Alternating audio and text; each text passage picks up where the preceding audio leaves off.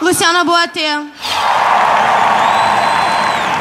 A gente vai ter que olhar para essa cidade e pensar tudo que a gente quer transformar. Mas acima de tudo, a gente quer transformar essa cidade numa cidade segura para mulheres, numa cidade onde as mulheres tenham voz, que a gente não seja apenas aquelas que vão é, ficar ao largo ou ficar atrás sem sermos ouvidas. Vamos todos juntos com o Marcelo Freixo, vamos transformar essa cidade, gente.